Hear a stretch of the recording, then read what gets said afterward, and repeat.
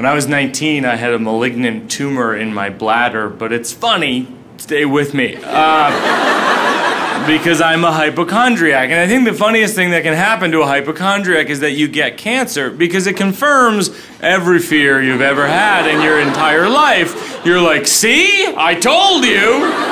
Remember last week when I was overtired and I thought I had rickets? I was probably right about that too. There's gonna be a lot of changes around here.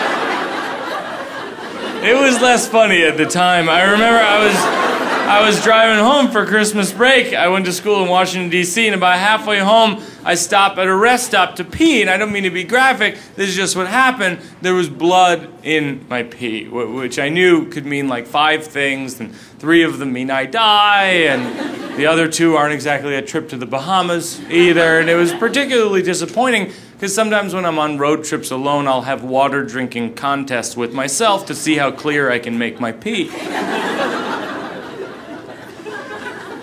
Who's with me? And uh, no, I, I'll drink all this water. I'll stop at a urinal. It'll be clear. I'll be like, bingo, you know. And so when it was red, I was like, oh, I lost big time. And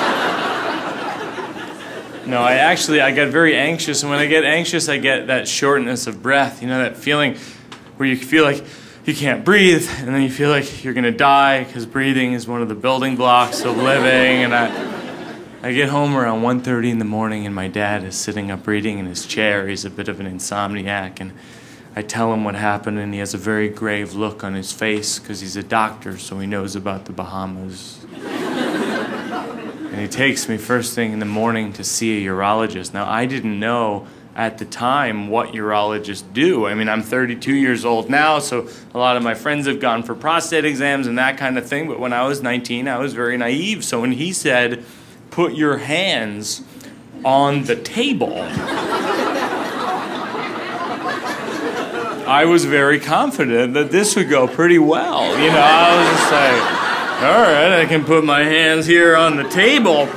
And then what happened was, was that he stuck his finger in the hat. And I did not know that was about to happen. And so I shouted, I go, oh my God! And he got mad at me. He was like, cut the theatrics. And I, I felt so bad. I was like, sorry about the theatrics, you know. It's, as though I had intended it, like this'll be my big moment. When he sticks his finger up my ass, I'll prove I should be the star of our town, you know?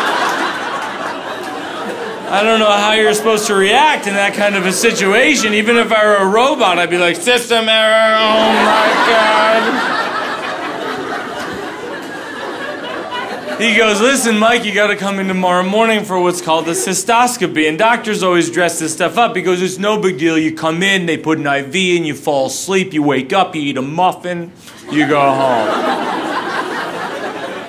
All right, yeah, that sounds pretty good. Still a little shaken up from that table thing, but uh, just out of curiosity, like, what is a cystoscopy? And he picks up this rod that's about four feet long. And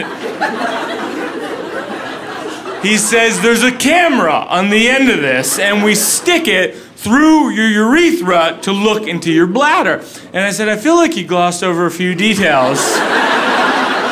In the initial description, I feel like there was too much emphasis on the muffin. and not enough emphasis on the fishing rod. You're sticking into my number three body part on E's Top 100 Sexiest Body Parts.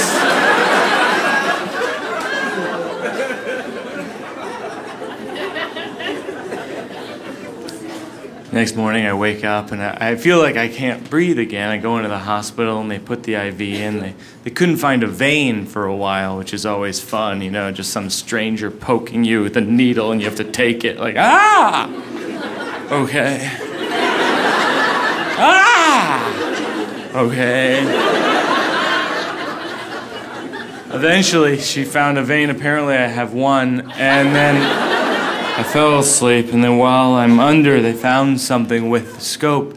So they decide they're going to keep me under and put me under further so that they can take it out. So they put me under the street equivalent of horse tranks. That's what the nurse told me later. And so I wake up in the recovery room and I'm sky high with my mom, which is not the first time in my life that I've been high with my mom. But it was the first time she knew.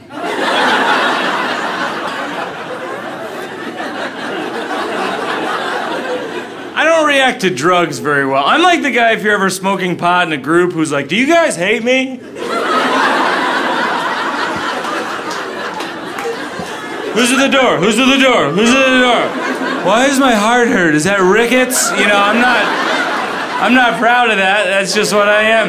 And my voice gets very loud. And so I wake up in the recovery room. It's mostly elderly people, but in my mind, it's like a dance club. I was like, this place is awesome. We should come here all the time. I don't know why we didn't come sooner. Dad's always here.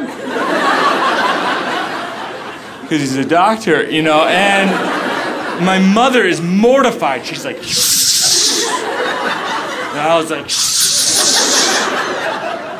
Do you hate me?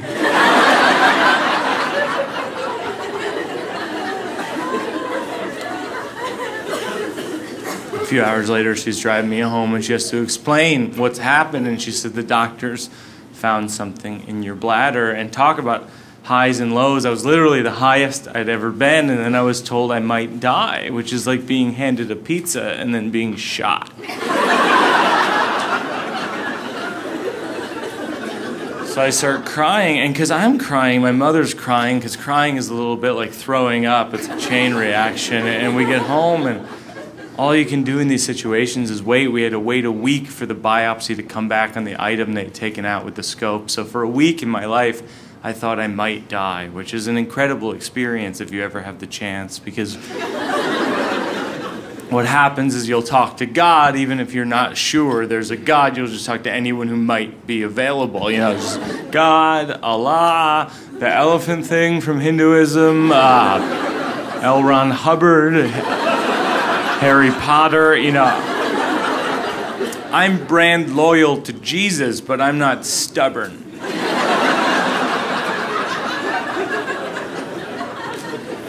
But when you think you're going to die, you try anything. You go to start going to church a few times a week. You're like, load up the station wagon. We're going to pray for me again. And uh, a week goes by, and the biopsy came back, and it turned out I was very fortunate. They had taken out a malignant tumor from my bladder, but they had caught it early enough so they didn't have to take any further action. Except every six months, as a precaution, they said I had to come back for the fishing rod. But it was okay because afterwards I could eat a muffin.